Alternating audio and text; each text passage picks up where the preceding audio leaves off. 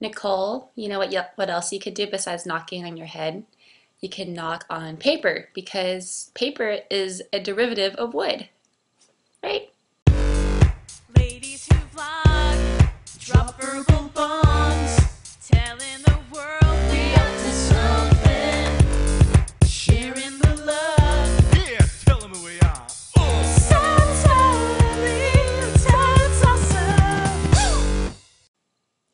Superstitions.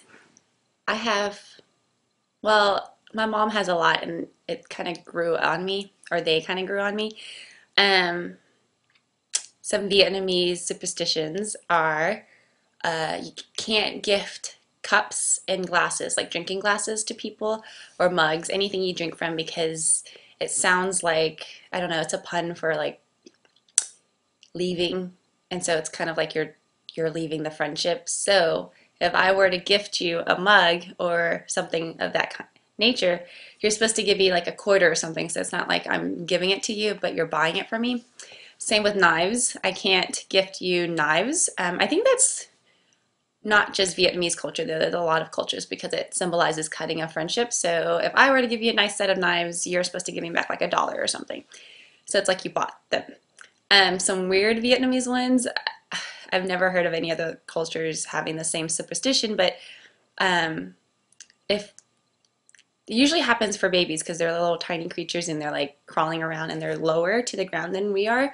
But you're not supposed to put like anything that belongs on your legs, like your pants or your actual leg, over the head of somebody. So if they're laying on the floor, um, just watching TV or something, don't walk over their head because it would make them dumb. So this was a problem in Vietnam, I guess. I never lived in Vietnam, but they would hang their clothes and pants and stuff, and so they would eye that area um, because they don't want their kids to run underneath the laundry lines because it makes them dumb. Um, and same with um, anything you can't sit on or step on your books because it's just disrespectful and it kind of makes you dumb too because I don't know why. Don't know the logic. I think there's no logic in most superstitions anyway. Um, I knock on wood a lot. and I have a lot of Middle Eastern friends, and their superstitions kind of rubbed off on me.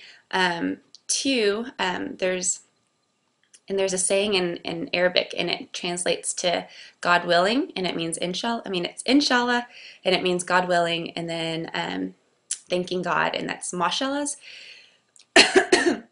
And you say those and you knock on wood when, let's say, you are complimenting someone, and um, it's kind of like jinxing them. So if you say a girl is really pretty, if you don't want to jinx her and turn her ugly because she gets in a car accident later or something, you say mashallahs, like thanks God, thanks to God, and then you knock on wood. And then same with um, your hopes and dreams. So if you say I hope to see you tomorrow, um, the Arabic saying is inshallah, God willing, and you knock on wood, meaning you don't want to jinx yourself by saying I'll see you tomorrow and then you die.